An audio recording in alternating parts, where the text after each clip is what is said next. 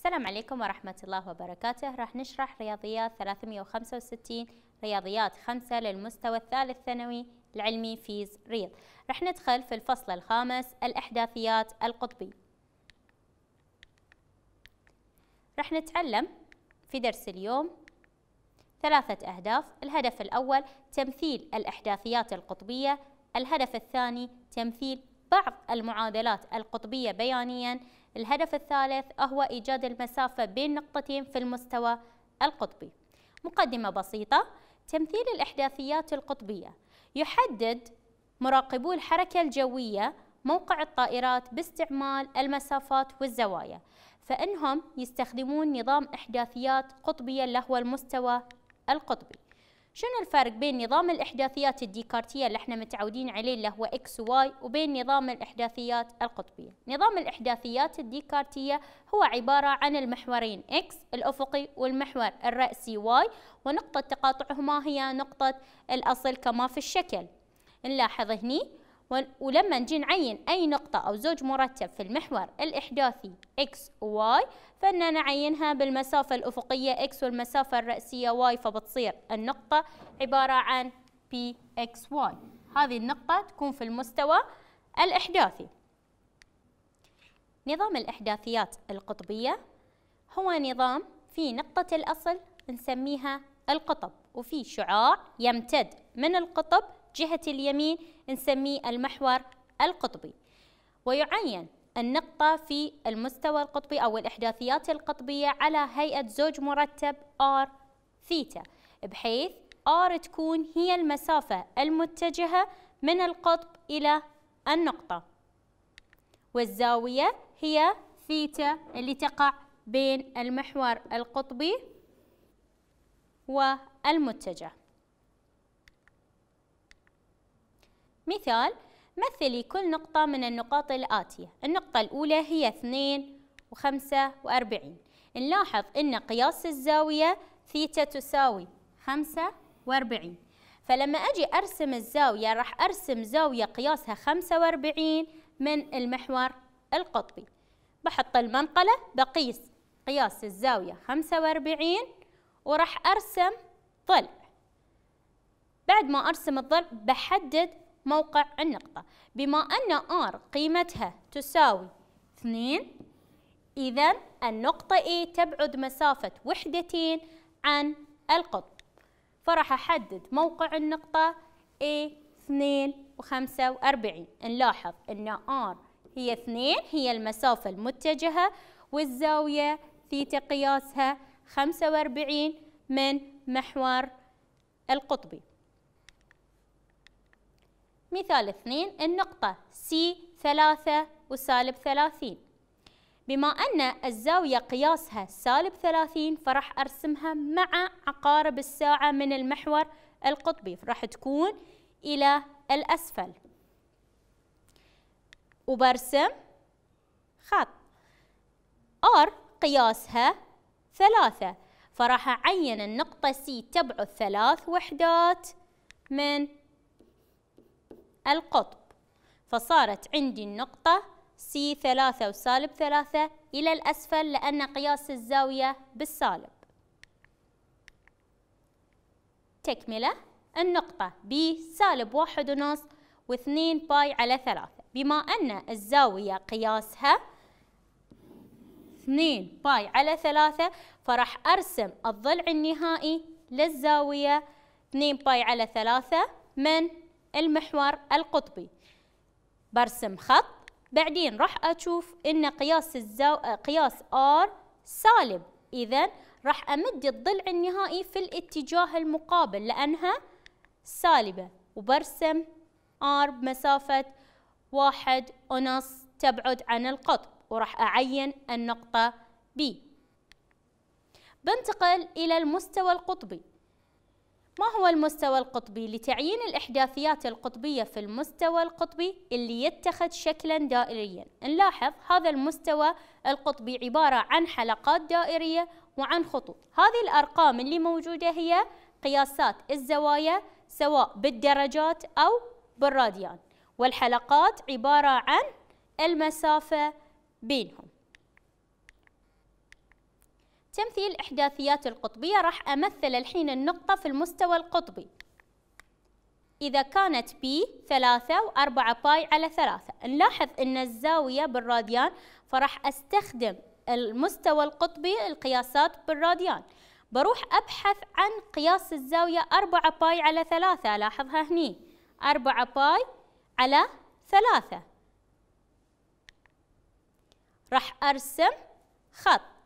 بحدد قياس الآر تساوي ثلاثة عشان أعين النقطة B تبعد ثلاث وحدات. نلاحظ هذه الحلقات هي عبارة عن المسافة.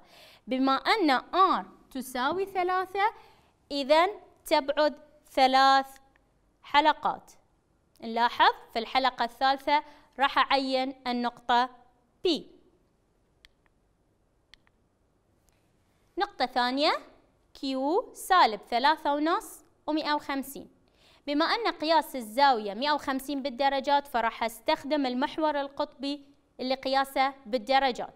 راح أضع الضلع النهائي عند الزاوية 150 هذه الزاوية 150 راح أرسم ضلع عند 150 بننتقل إلى الآر. قياسها سالب ثلاثة ونص. نلاحظ أن الآر سالبة فراح أرسمها على امتدادها للمحور القطبي.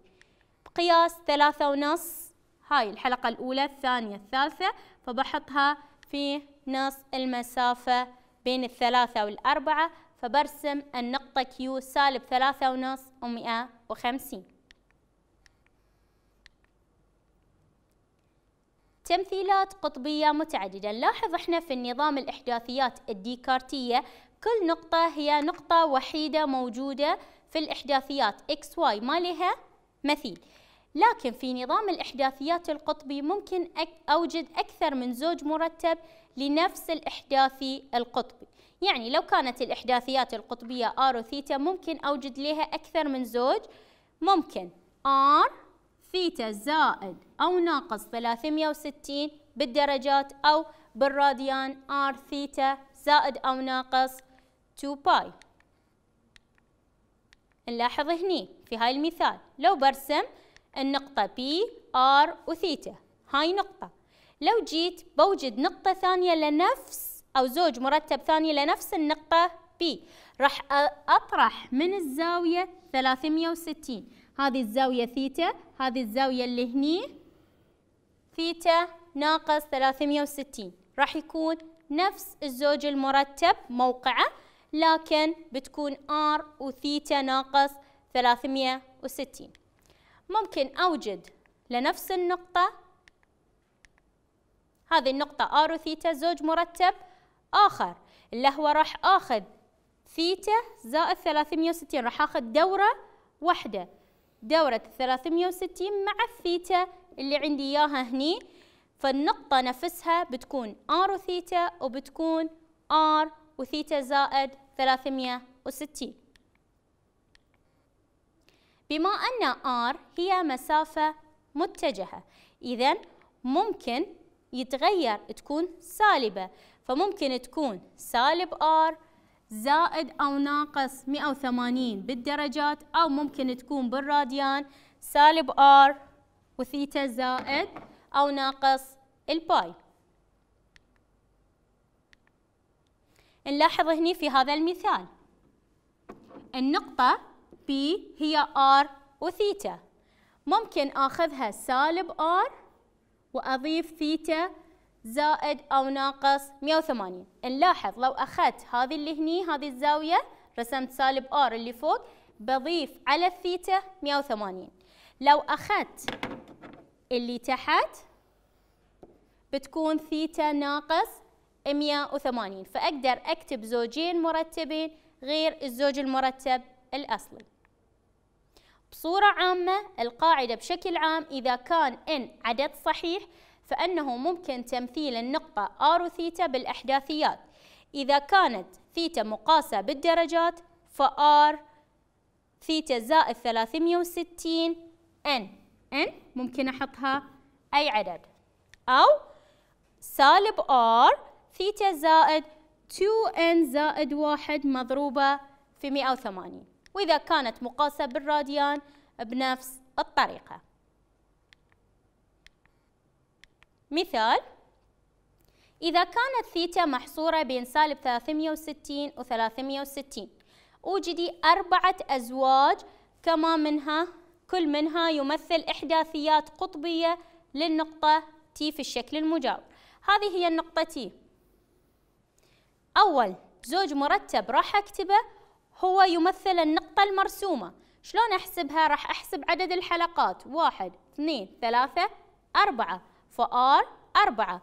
وعندي الزاوية تقع عند الزاوية 135 فالزوج المرتب الأول تي هو 4 و135 راح نوجد الثلاث أزواج المرتبة. الزوج المرتب الثاني بطرح 360 من ثيتا. نلاحظ أن ال R بتظل نفسها R بطرح ثيتا من 360 اللي هي 135 ناقص 360 بيعطيني 4 وسالب 225 هاي الزوج المرتب الثاني. الزوج المرتب الثالث ببدل R بحط مكانها سالب R وراح أضيف 180 حق الثيتا.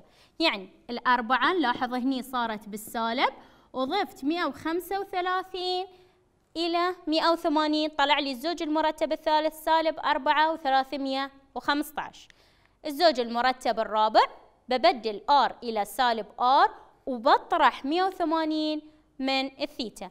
نلاحظ هني الأربعة صارت سالب أربعة وهني 135 ناقص 180 بيطلع لي الزوج المرتب الرابع سالب أربعة وسالب 45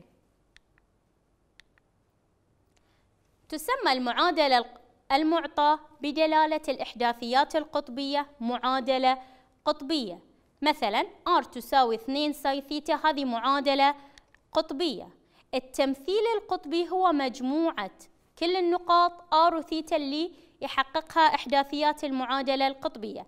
راح نمثل الحين نوعين من المعادلات القطبية R تساوي K وثيتا تساوي K بحيث أن K عدد حقيقي.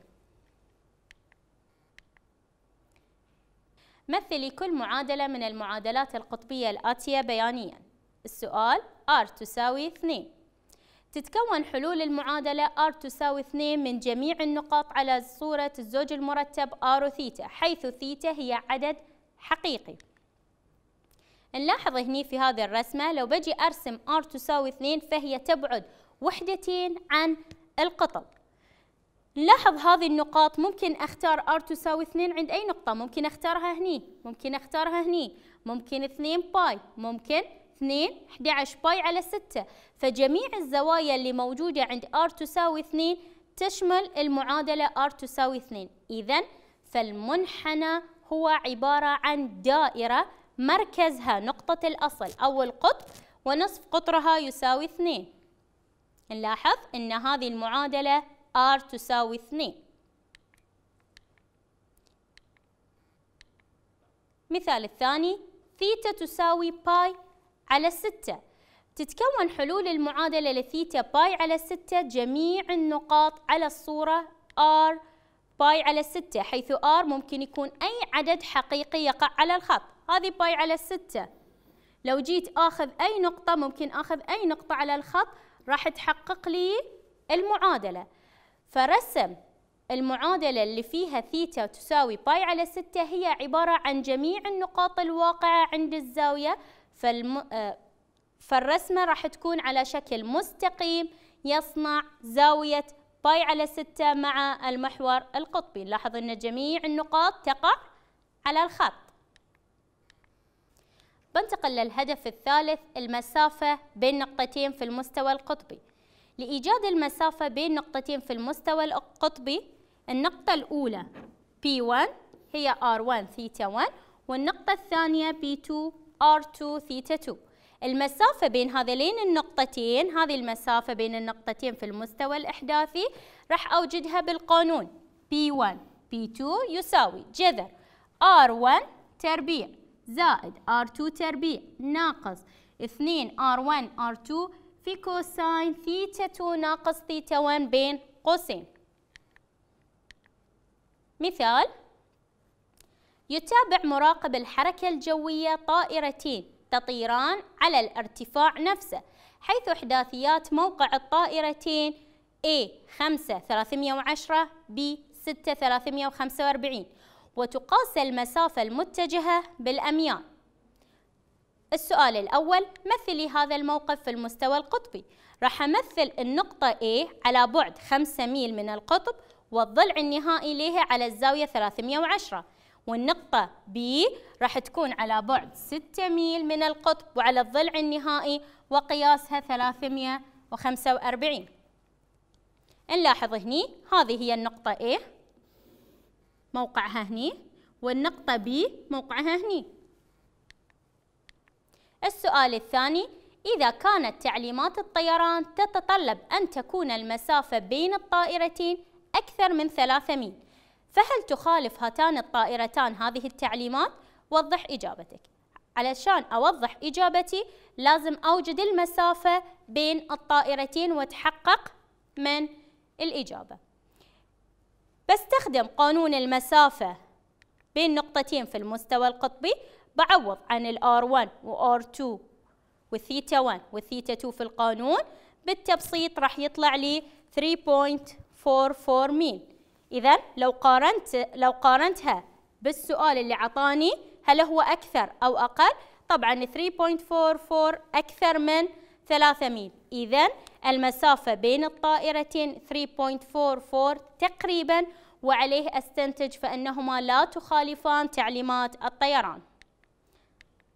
مع تمنياتي لكم بالتوفيق والنجاح.